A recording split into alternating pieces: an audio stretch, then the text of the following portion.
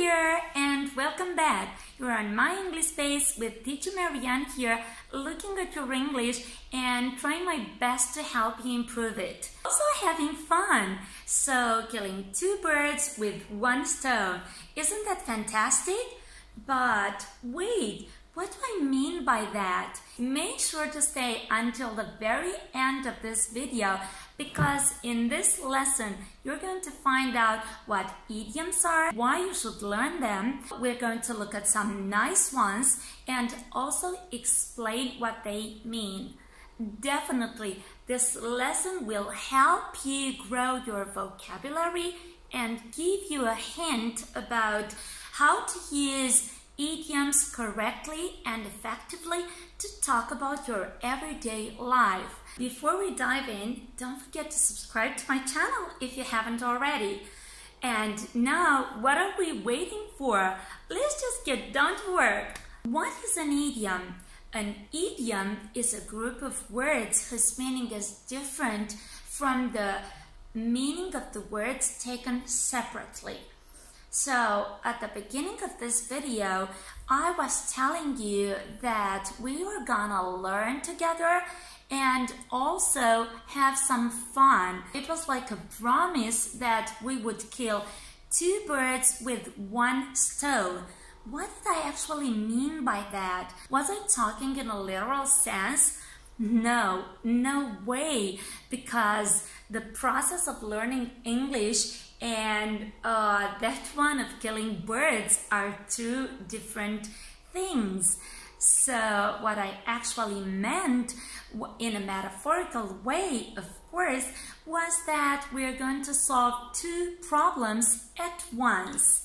If you're interested to stick around, please find out that uh, idioms are very important groups of words that help us um, express ourselves in a more natural way and that they're present everywhere in movies, songs, and live shows. They're groups of words that most often sound like metaphors, so it's impossible to translate them word for word.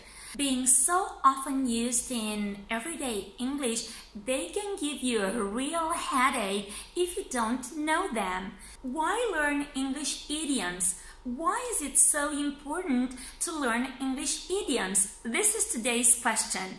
First of all, because they're really common in everyday English, in real life English. Second of all, because they add color to our language making us sound more natural and fluent, much more interesting. Last but not least, they give our English a well-worth boost, leveling it up. So taking our English to the next level. Now, let's boost our English by looking at other examples with idioms. The second one that I'd like us to look at is it's not rocket science. It's not rocket science. So, learning how to use idioms, English idioms, isn't rocket science. All you have to do is look out for them in movies and songs and maybe live shows, decipher their meaning, and use them yourself. If we take this idiom in a literal sense, we might think that it's something that uh, might deal with the science of rockets. Is that so? Is that about making or building some rockets? No, no way. Because we're just talking here about the process of learning English. And what I said is that learning idioms is not rocket science. So it's just not complicated. Learning how to use idioms isn't a complicated process. It's not complicated at all. So let me further explain here. If there was a science called rocket science, I think that learning idioms couldn't be any more difficult than rocket science. Does it make sense? So again, learning idioms isn't rocket science. It's not complicated. Let's move on to our next idiom. Hit the books. Hit the books. Hmm, why would we have to hit the books? Or even punch them? Or slap them? I really don't understand. How could anyone do such a thing? I can't do this. Why should I have to hit the books? Would it help me in any way? Or you? Oh, no way. Not at all. So if we look at this example, Rob has a very tough exam tomorrow, so he'll definitely have to hit the books. Does this mean that he will have to punch the books to pass the exam? Oh no, Rob will have to study hard for tomorrow's exam so that he will pass it. So, hit the books actually means to study hard. To study hard. Have too much on your plate. Have too much on your plate. Hey, uh, is this about a restaurant and some food that you're gonna eat?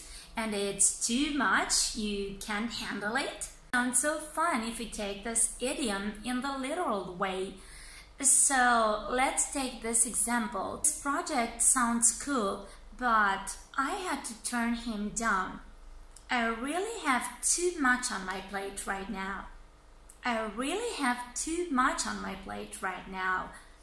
So what I mean here is that I'm so overwhelmed and I have so many things to do at this moment that I can't handle some other things too.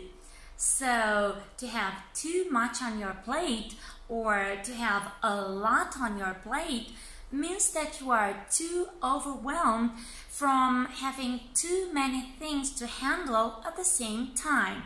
To keep talking about food, here's another one my cup of tea. My cup of tea. Here's an example. In our family, we just love spending time in nature, hiking and stuff. But when it comes to camping, it's not really my cup of tea. And that's because of the mosquitoes. You may be wondering, What's your hiking and camping got to do with drinking tea? Is there any connection between the two? Actually, no, there is no connection between hiking and spending time in nature and drinking tea. What I actually meant here is that camping, so staying in a place over the night, is not to my taste it's not actually what I'd choose for myself. So this idiom, my cup of tea, but you can also pronounce it faster, my cup of tea, my cup of tea. So by cutting out that v sound, the sound, cup of tea, cup of tea, yeah, and this sounds also more natural. So I was saying that this idiom, my cup of tea, is widely famous for its negative form.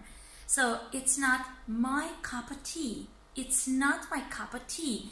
We talk about something like opera's not really my cup of tea uh, because it means that it's not something that I really love. It's not something that I enjoy. But we can also refer to this by using it in an affirmative form, like in, but reggae is really my cup of tea reggae is certainly my cup of tea. That means that I really enjoy listening to reggae. It really gives me great pleasure to listen to reggae. Next, keep your chin up. Keep your chin up. Is there a certain position we should keep our chin in? no, there is none. So when I say that people in our country are still keeping their chin up despite COVID issues. People in our country are still keeping their chin up despite COVID issues. Means that they're still cheerful and hopeful even if they're passing through difficult times. So, in a literal sense, yeah, it means something very weird, but in a metaphorical way, it just means that you should get on with your life even if you you've experienced something really bad and not really nice. This idiom can also be used as a way of encouragement for somebody to make an effort to stay confident and positive when they are in a difficult situation. Like in, I know that failing your driving test wasn't easy, but next time you'll do better. So chin up. Chin up. So wear your heart on your sleeve. Wear your heart on your sleeve. So here's another one from the same area, body parts. Is it actually possible to wear your heart on your sleeve? That is right here. Can you actually do that? Certainly not. Here's my example for you. As a teacher, I have to grade my students' not so brilliant work with poor marks. Oftentimes, as much as I want to be tough on them, I wear my heart on my sleeve. I wear my heart on my sleeve. And this doesn't mean that I put my heart right here on my sleeve, but they can tell I'm sorry for that, however harsh I'd like to appear in front of them. So to wear your heart on your sleeve means that you show your true feelings openly. Now that we're done, do you agree with me that learning idioms isn't rocket science?